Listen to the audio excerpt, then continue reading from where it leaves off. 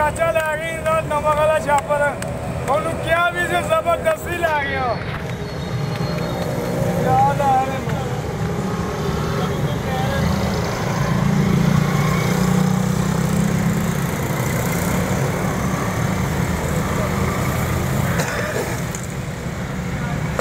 ਇਹ ਜੱਜ ਨੇ ਆਵਾਜ਼ ਦਿੱਤੀ ਉਹਨਾਂ ਲੱਸੀ ਆ ਕੇ ਲਾਣੀ ਹੈ ਨਮਕ ਨਹੀਂ ਗਿਆ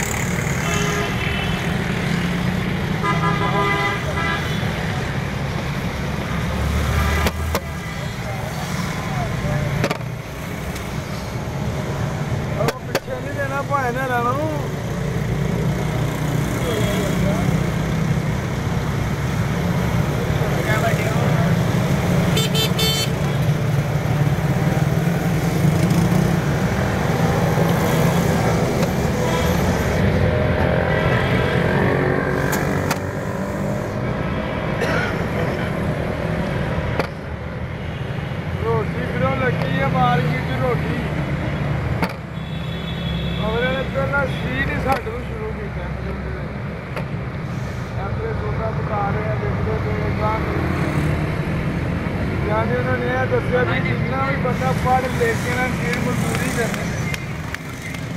ਸਿਰਫ ਦਾ ਨਾਲ ਹੀ ਰੋਟੀ ਸਾਡੇ ਅੱਧਾ ਮੁੰਡਾ ਮੱਲੇ ਦੇ ਦੇਖ ਆਇਆ